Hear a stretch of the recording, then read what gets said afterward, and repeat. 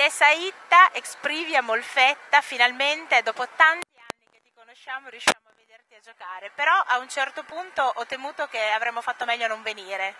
No, diciamo che avete portato fortuna ragazzi, sono contento di avervi visto, all'inizio ero emozionato anche per voi, vi ho detto ci sono Gigi e Marti, ero, ero molto contento di vedervi. Sono ancora più contento perché siamo riusciti a portare a casa tre punti importantissimi per la nostra classifica.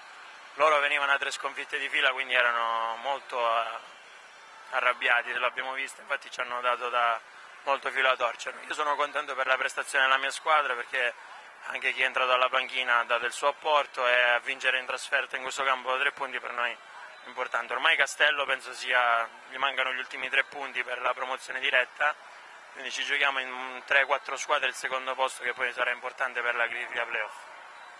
È una squadra che mi sembra in cui veramente il gruppo vale, vale molto. Sì, eh, stiamo- abbiamo lavorato molto durante l'anno in questo, tutti i ragazzi sono dei ragazzi splendidi, quindi è facilitato questa unione del gruppo, però poi nel- quando si deve vincere eh, spesso scattano dei meccanismi in tutte le squadre in cui ci sono dei problemi che però stiamo riuscendo ad affrontare bene con la forza del gruppo, anche con un allenatore che molto caliente, l'avete visto argentino, però è molto bravo, molto bravo, molto bravo, è che è troppo caliente ma ci piace così, ce lo teniamo stretto.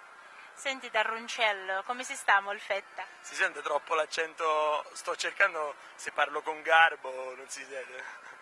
A Molfetta si sta bene sia perché c'è il mare e il sole, spessissimo, quindi è una gioia quando mi alzo e vedo il mare e il sole, sono molto contento. Non, eh, non è vero che sono più vicino a casa perché comunque per andare a Catania devo sempre prendere l'aereo o farmi otto ore di macchina, il che è improponibile, quindi però sto bene, vivo con Giglioli che è un, ragazzo molto preciso, mi sta mettendo in riga, quindi ormai sono una donna di casa, lavo i piatti a pesco sempre, non mai un piatto sporco, sono un grande. Vabbè, verremo a controllare. Eh, l'ho visto, l'ho visto. Senti un po', ma se ti dico We Love Saio, cosa ti viene in mente? È il mio fans club, che sono due ragazze di Sernia che l'anno scorso ho conosciuto. Sono- io sono un po' restio a queste cose, ma mi ha fatto molto piacere perché lo fanno con molta discrezione e le faccio, le faccio un saluto grande. Ci controllano quando non, esce subito la tua pagina, ci bacchettano. Lo, lo vedo, fa, "Eh, viva è uscito il numero, sono- almeno loro mi leggono, sono sicuro che almeno 5-6 mi leggono.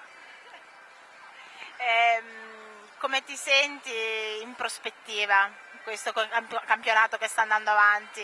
Hai buoni presentimenti? Eh, i presupposti ci sono, il gruppo c'è, come hai detto tu, la tecnica, esprimiamo dei momenti di gran pallavolo, a volte invece se riusciamo a tenerci ad alti livelli per tutta la partita possiamo essere pericolosi e fastidiosi. Poi i playoff sono un campionato a sé, si gioca domenica, mercoledì, domenica, sarà bello e quindi aspettiamo con ansia. Ora mancano le ultime 5 partite e poi iniziamo.